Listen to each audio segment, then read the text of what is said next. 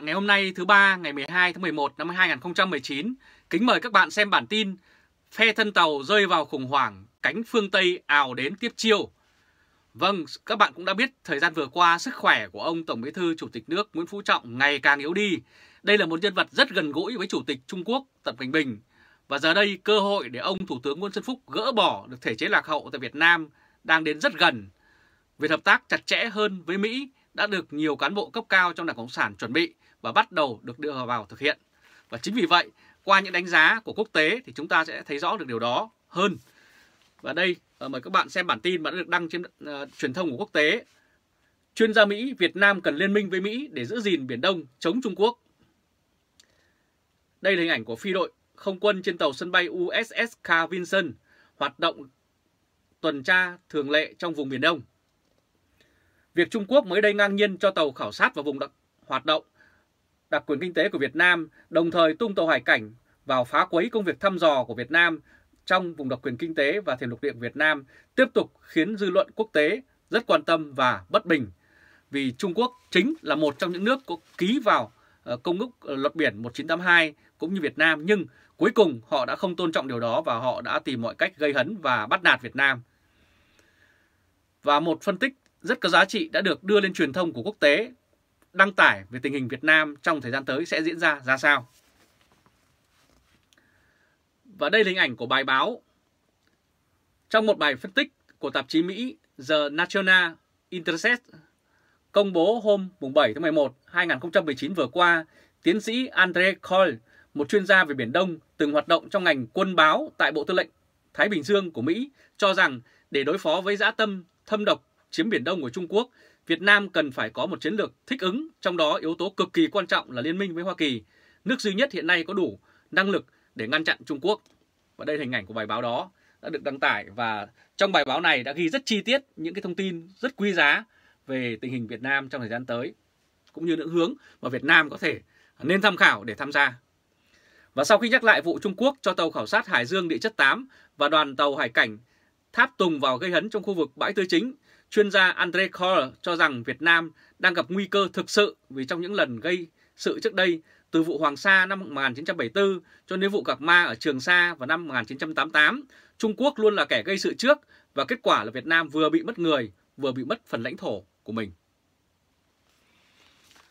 Và Trung Quốc ngoài ra cũng đã rất nhanh tay, họ đã nộp cái bản đồ đường chín đoạn, gọi là đường lưỡi bò, lên Liên Hợp Quốc cách đây đã 10 năm nhằm tạo chứng cứ pháp lý để thôn tính lãnh thổ Việt Nam trong hòa những vùng đặc quyền kinh tế của Việt Nam.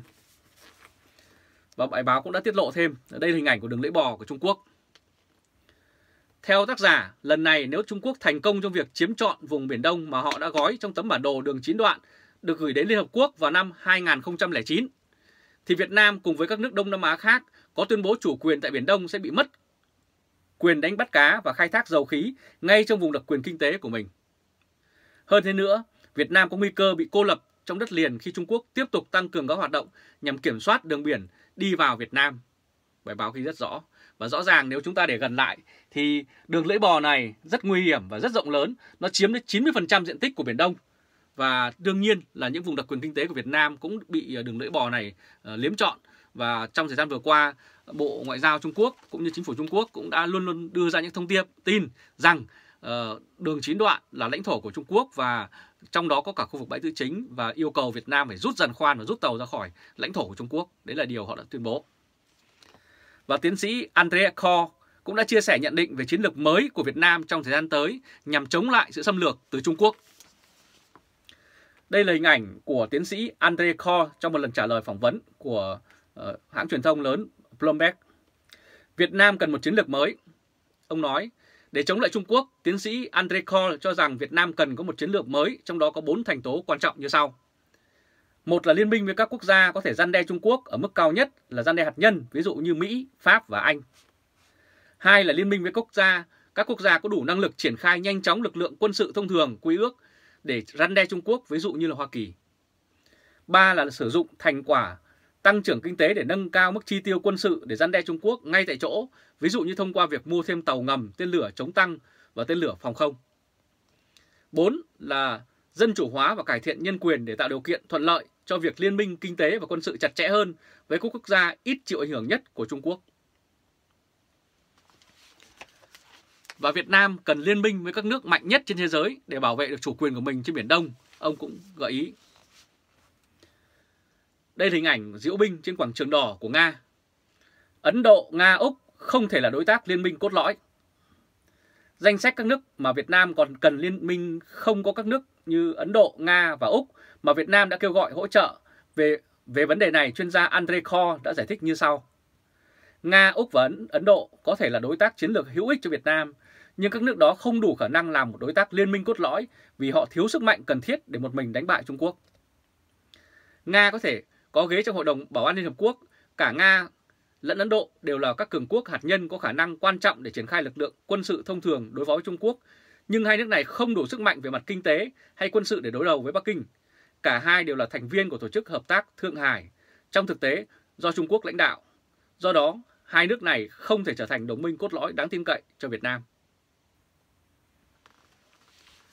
Và cũng có những nước cũng ủng hộ, ủng hộ Việt Nam nhưng bản thân họ lại phụ thuộc rất nhiều vào Trung Quốc uh, nên uh, những nước như vậy chỉ có thể trợ giúp ở Việt Nam ở một mức uh, giới hạn nào đó mà thôi. Và Úc là một đồng minh đáng tin cậy, tiềm năng nhưng lại không đủ sức răn đe, hạt nhân hay quy ước cần thiết để đối đầu với Trung Quốc. Úc cũng không đặc biệt mạnh về ngoại giao, quân đội Úc còn thiếu phương tiện hơn so với Trung Quốc. Và nhất là Úc chịu ảnh hưởng chính trị của Trung Quốc nhiều hơn là Hoa Kỳ, Pháp hoặc Anh Quốc. Đây là hình ảnh của Sydney của Úc. Khoảng 40,8% hàng xuất khẩu của Úc được bán sang Trung Quốc. Điều đó giải thích tầm ảnh hưởng to lớn của Trung Quốc đối với các quốc, uh, quốc doanh nghiệp Úc vốn có ảnh hưởng trên sân khấu chính trị Úc. Ngược lại, Hoa Kỳ, Pháp và Anh có ít hàng xuất khẩu sang Trung Quốc nếu tính theo tỷ lệ GDP ờ, của họ. Do đó, các nước này chịu ảnh hưởng chính trị ít hơn từ Trung Quốc. Mỹ, Anh, Pháp uh, cũng có thế mạnh là thành viên thường trực Hội đồng Bảo an Liên Hợp Quốc. Và mặc dù Việt Nam tham gia vào khối ASEAN, nhưng các hỗ trợ từ khối này cho Việt Nam để chống lại Trung Quốc là rất hạn chế. Và đây là hình ảnh lãnh đạo các nước ASEAN trong một cuộc gặp vừa qua tại Thái Lan. ASEAN chịu ảnh hưởng của Trung Quốc lơ là trước hành vi ở Biển Đông. Còn về các tổ chức khu vực và quốc tế mà Việt Nam đã kêu gọi giúp đỡ để đối phó với Trung Quốc trên Biển Đông, tiến sĩ Co đã thẳng thắn cho rằng sự giúp đỡ của các định chế này gần như bằng con số 0. Hiệp hội các quốc gia Đông Nam Á, viết tắt là ASEAN, đã giúp đỡ rất ít cho Việt Nam trong bối cảnh các nước thành viên ngày càng ảnh hưởng, chịu ảnh hưởng lớn hơn từ Bắc Kinh và phải phủ quyết mọi chỉ trích thực sự về Trung Quốc. Các nước này chuẩn bị rất ít hay hầu như lơ là trong việc ngăn chặn các hoạt động gặm nhắm Biển Đông của Trung Quốc. Sau khi Bắc Kinh phớt lờ phán quyết Biển Đông của Tòa Thường trực là hay trong vụ Philippines kiện đường chín đoạn của Trung Quốc, chính phủ Philippines chẳng hạn lại là thành viên của ASEAN mới nhất chịu ảnh hưởng từ Bắc Kinh. Theo chuyên gia Mỹ, hiện nay Việt Nam là nước bạo dạn nhất của khối ASEAN vẫn cố duy trì sự độc lập của mình đối với Trung Quốc. Nhưng điều này đã bớt có ý nghĩa trong bối cảnh Trung Quốc có ảnh hưởng sâu rộng đối với các thượng tầng quyền lực của Việt Nam và khối giao dịch thương mại to lớn của Việt Nam với Trung Quốc. Còn Đại hội đồng Bảo an Liên Hợp Quốc với quyền phủ quyết của Trung Quốc hoàn toàn không đủ khả năng để đảm bảo cho sự toàn vẹn lãnh thổ của Việt Nam. Thì như vậy theo phân tích của ông uh, tiến sĩ uh, Cole thì rõ ràng thượng tầng của Việt Nam đây ông không nói rõ là ai nhưng có lẽ chúng ta đã biết những cái người ờ, rất thân với Trung Quốc trong thời gian qua. Và chỉ có Mỹ mới đủ khả năng đối đầu với Trung Quốc. Tuy nhiên, nếu Việt Nam vẫn tồn tại chủ nghĩa cộng sản, phản dân chủ thì sẽ khó nhận được sự trợ giúp mạnh mẽ từ các nước phương Tây tự do này. Và đây là hình ảnh của tàu sân bay Mỹ đi vào Biển Đông. Mỹ có đủ điều kiện để hỗ trợ Việt Nam chống Trung Quốc. Đối với ông Cole, trong tình hình như kể trên, một liên minh hoặc thậm chí một quan hệ sâu sắc hơn với Mỹ sẽ giúp Việt Nam củng cố tiềm năng chống lại Trung Quốc, cải thiện sức mạnh răn đe của Việt Nam nhờ dựa vào một người bạn mạnh mẽ nếu xảy ra xung đột quân sự. Theo tiến sĩ Andre Coyle, chỉ có Hoa Kỳ mới có thể có điều kiện để trở thành một đồng minh cốt lõi đáng tin cậy và đủ sức chống lại Trung Quốc. Các điều kiện đó là một chính sách đối ngoại độc lập với ảnh hưởng của Trung Quốc so với các nước ở thành viên ASEAN và Nga.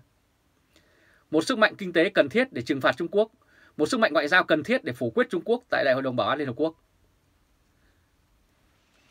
Và Việt Nam đương nhiên cần phải thay đổi thể chế để nhận được sự hợp tác toàn diện hơn từ các nước phương Tây. Và đây là hình ảnh Bộ trưởng Bộ Quốc phòng Mỹ Mark Esper sẽ sang thăm Việt Nam vào hôm tới, ngày 13 tháng 11 năm 2019. Mỹ cũng đủ khả năng quân sự cần thiết để triển khai sức mạnh quân sự quy ước đối với phó với Trung Quốc và sức ờ, răn đe hạt nhân cần thiết để bảo vệ chính mình khỏi sự trả đũa hạt nhân tiềm năng của Trung Quốc. Chuyên gia Mỹ khẳng định nếu không có Hoa Kỳ để làm đối trọng với Bắc Kinh, an ninh Việt Nam không thể đảm bảo được. Sự tham gia của Hoa Kỳ là để điều kiện thiết yếu cho bất kỳ liên minh hiệu quả nào chống lại Trung Quốc căn cứ vào tương lai tự và tương quan lực lượng hiện tại giữa Việt Nam và Trung Quốc. Tuy nhiên, Mỹ chỉ ưu tiên cho những đồng minh có giá trị tương tự về dân chủ và nhân quyền. Vì vậy, để có được không không chỉ liên minh với Hoa Kỳ và các uh, cả các việc Hoa Kỳ sẵn sàng hy sinh cho Việt Nam, chấp nhận rủi ro trước một cường quốc hạt nhân, Việt Nam ít ra cần phải có những cải tiến dần dần nhưng ổn định về dân chủ và nhân quyền trong thời gian tới. Và việc Việt Nam hợp tác với Mỹ là vấn đề cả hai bên đều có lợi. Khi điều này được thực hiện tốt thì sẽ chặn đứng được sự hung hăng của Trung Quốc trên Biển Đông và Việt Nam bảo vệ được vùng đặc quyền kinh tế với lượng dầu mỏ và tài nguyên rất phong phú của mình. Liên minh Mỹ-Việt còn có lợi ích của Hoa Kỳ. Đối với giáo sư Andre Coyle, một liên minh Mỹ-Việt sẽ không chỉ có lợi ích cho Việt Nam mà còn có lợi ích cho Hoa Kỳ. Vào lúc sức mạnh kinh tế và quân sự của Trung Quốc vượt qua Mỹ trên một số mặt bao gồm từ ờ, GDP tính theo sức mua, tỷ lệ tăng trưởng, tốc độ tăng trưởng của chi tiêu quân sự cho đến tầm bắn của tên lửa chống hạm, dân số trong hạn tuổi quân dịch, số lượng tàu hải quân mới, trí thông minh nhân tạo và siêu máy bay, siêu máy tính. Hoa Kỳ, phần còn lại của thế giới nên cân nhắc rất kỹ cách làm thế nào để kiềm chế sức mạnh và ảnh hưởng của Trung Quốc trước khi Bắc Kinh lấn lướt các cấu trúc quyền lực hiện hữu. Ảnh hưởng chính trị trên toàn cầu của Trung Quốc được nền kinh tế giàu đang giàu lên hỗ trợ kèm theo việc Bắc Kinh dùng tiền mua chuộc sự ủng hộ chính trị của giới tinh hoa nước ngoài, kể cả giới tinh hoa Mỹ. Và đây là hình ảnh uh, Chủ tịch uh, Tập Cảnh Bình và Thủ tướng chủ nhiệm nước uh, Ý Italia có mặt chứng kiến việc ký kết hàng loạt các thỏa thuận giữa Trung Quốc và Italia tham gia vào con đường tơ lụa do Trung Quốc khởi xướng. Một liên minh với Việt Nam sẽ đảm sẽ đảo ngược dòng chiến thắng ngoạn mục của Bắc Kinh và sẽ làm cho Trung Quốc không chiếm được vùng đặc quyền kinh tế của Việt Nam để khai thác dầu khí và nguồn cá béo bở. Liên minh sẽ có là một ví dụ cho các quốc gia khác trong vùng cảnh báo và bảo vệ vùng đặc quyền kinh tế của họ và chống lại ảnh hưởng của Trung Quốc. Nếu được mở rộng từ Việt Nam sang Indonesia và Ấn Độ, hai nơi cũng là có chính sách không liên kết, Trung Quốc sẽ ngày càng bị ngăn chặn ngay trong dân sau của chính họ. Và với phân tích rất thiết thực ở trên, đồng thời nhân lúc người đứng đầu của Đảng Cộng sản, Tổng Bí thư Chủ tịch nước Nguyễn Phú Trọng đã quá già và yếu lại đang lâm trọng bệnh thì ông cần phải nghỉ ngơi. Và tình hình quốc tế lại đang rất ủng hộ cuộc đấu tranh chính nghĩa của nhân dân Việt Nam với sự xâm lăng của Trung Quốc. Thì ngay lúc này, ông Thủ tướng Nguyễn Xuân Phúc của Việt Nam nên mạnh dạn đưa ra các quyết định hợp lòng người. Đó là tháo gỡ thể chế cũ, vứt bỏ chủ nghĩa xã hội, chủ nghĩa cộng sản để đưa đất nước phát triển theo thể chế dân chủ và tự do. Vì đây cũng là điều mà hàng triệu người dân Việt Nam đang rất mong chờ. Rất cảm ơn các bạn đã chú ý theo dõi chương trình truyền hình trực tiếp của Lê Trung Khoa Thời báo.de ngày hôm nay thứ ba ngày 12 tháng 11 năm 2019. Các bạn hãy bình luận trong video này cũng như chia sẻ cho nhiều người cùng biết và hãy bấm nút theo dõi YouTube và Facebook Thời báo.de để luôn luôn được cập nhật những thông tin mới nhất. Chào các bạn và hẹn gặp lại các bạn vào bản tin lần tới Trung Khoa Thời báo.de từ Berlin, Cộng hòa Liên bang Đức.